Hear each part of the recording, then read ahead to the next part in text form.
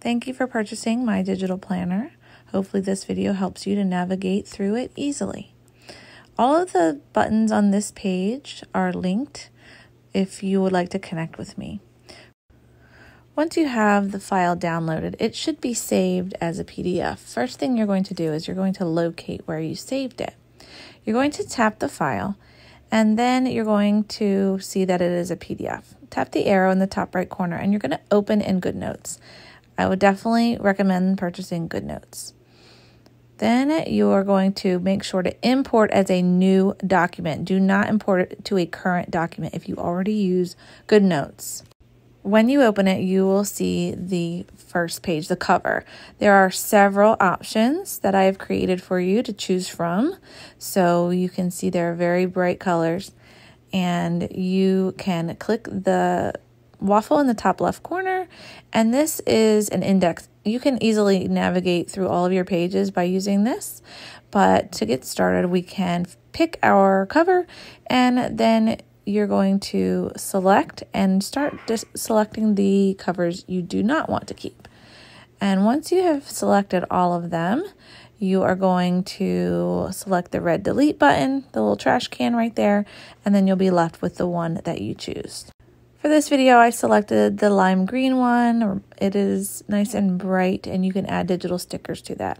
I will make a video for that later. So first thing to remember is that this is how you navigate or edit. So you need to make sure that the pencil is not selected.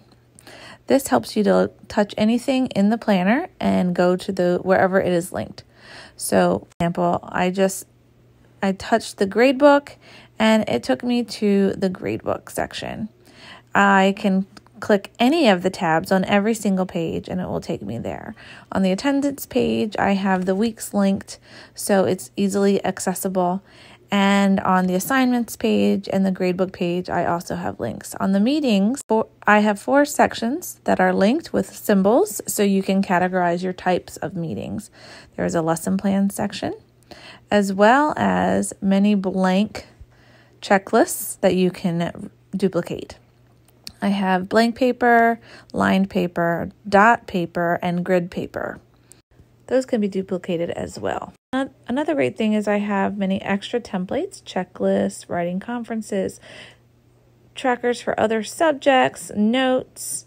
I have IEP pages, field trip planner, small groups, usernames and passwords, other sideways checklists, trackers, sleep trackers, blank trackers, brain dump, plus others that I didn't even mention.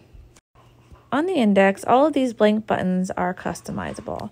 Click the button and then you can click the pen tool and you can edit and you can name that section you can tap the text box, and once it's visible, you can actually write with your Apple Pencil and it will turn it into text. Whatever your default font is, it will turn it into the text.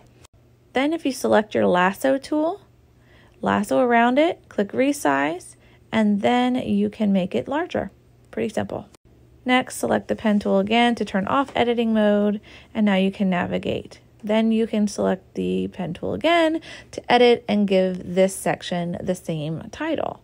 So you can customize it using any of the templates that I have provided, or you can create your own. Again, you'll type in the title and you will select the lasso tool and resize, and then you can make it fit. What's great about this type of planner is you can actually take screenshots of PDFs you might need and paste it right onto blank pages and everything will be in one place. Now let's talk about the calendar. Each of these blank calendars are linked to that month. Once you are on the monthly view, each of those calendars at the top are linked as well. When you're in monthly view, if you notice each of the spots where you'd put the date they are linked to the daily view. Everyone is linked to the daily view. Okay. So when you go back into monthly view again, on the side, on the top left corner of every Sunday is a hidden link. That will take you to the weekly view for that week.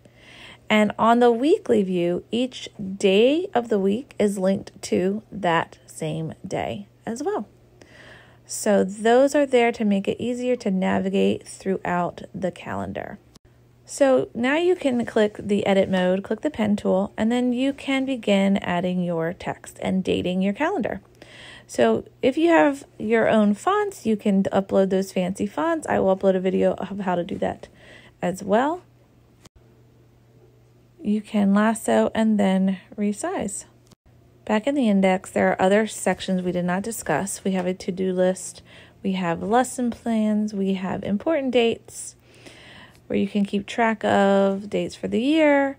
We also have expenses where you can keep track of classroom expenses. We have student information. I'm excited about this section because I have enough for 30 students and it is all linked. There's a roster, there's place for student birthdays. The, arrow in the top left corner takes you back to the beginning of this section. You can keep track of their passwords, and each numbered student is linked to a student information sheet and then a second sheet behind it for keeping track of anecdotal notes.